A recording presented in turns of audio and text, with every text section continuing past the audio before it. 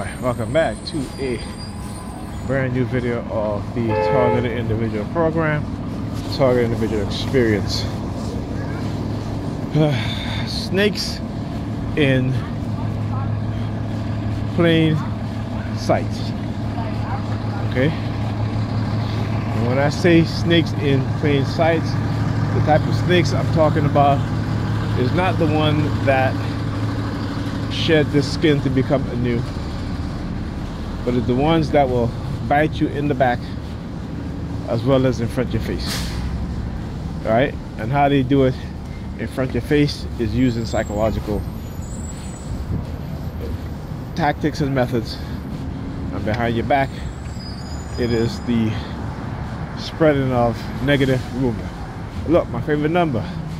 L in the license plate LBF 8832 uh, it's a black Kia it's pretty looking pretty nice too.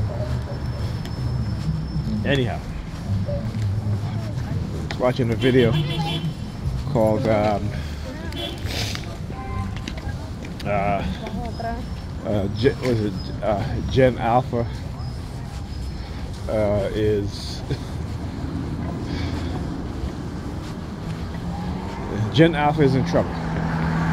Okay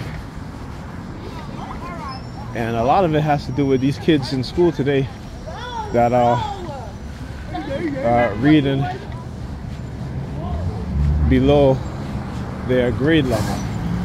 So you have kids that are in seventh grade and reading on the fourth grade level uh, doing a fourth grade math. And uh, people are still asking what's going on particularly in the black community, it's worse. Right? And who's to blame? Right? Some people will say it's the parents. Yeah, this is what those in, in, in, in the authoritative position will always do. Right? They will totally ignore their part, right? And only blame the parents. I talk about this in the 1980s. You know, you had these kids who were suffering from behavioral issues. You know, they were blaming the parents, so it was the parents, the parents are cracking. That wasn't for all kids, okay? That was just for a small percentage of kids. All right? But what they never talked about, particularly in the public housing sector, is how these kids were being exposed to lead on a daily basis. Lead paint, lead in the drinking water, right? They totally ignore that part. Though they knew the evidence was there to show that these kids had lead poisoning. Because remember,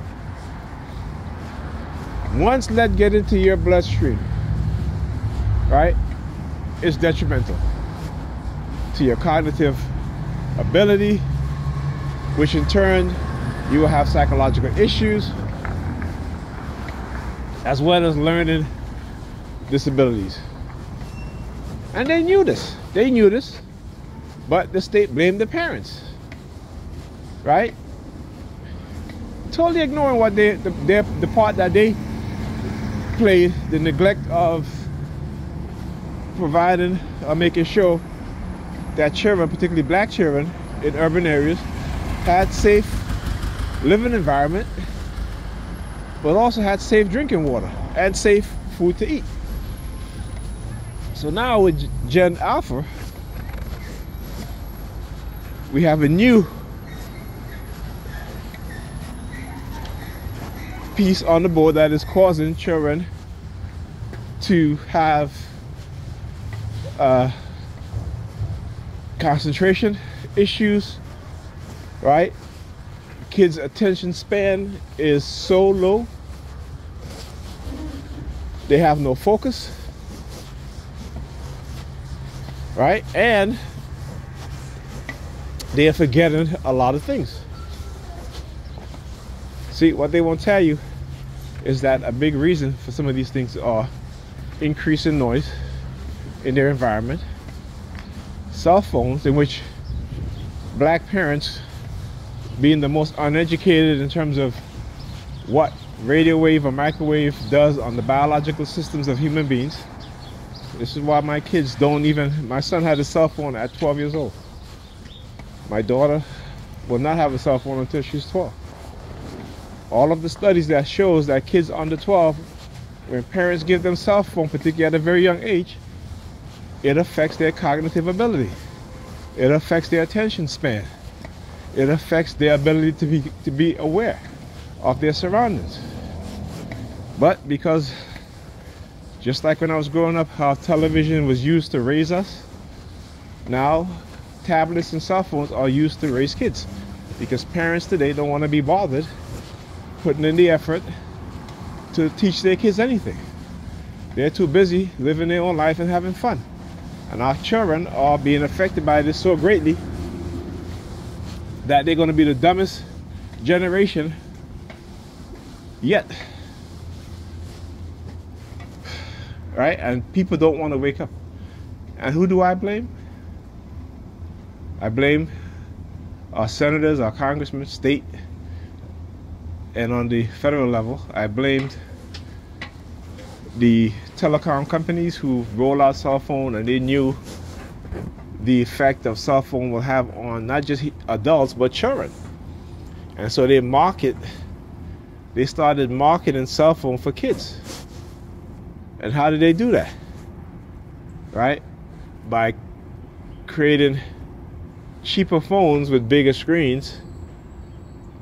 So instead of parents buying kids a, a tablet on a phone, they're just buying them a phone now. Okay? So yeah, my kid, my daughter, uh, 10 years old, she has another two years to go before she gets a cell phone. And trust me, her attention span is, I mean, it has been getting better. Her concentration is not so much. And I tried, and a big part of it has to do with, you know, her parents, you know, particularly her mother.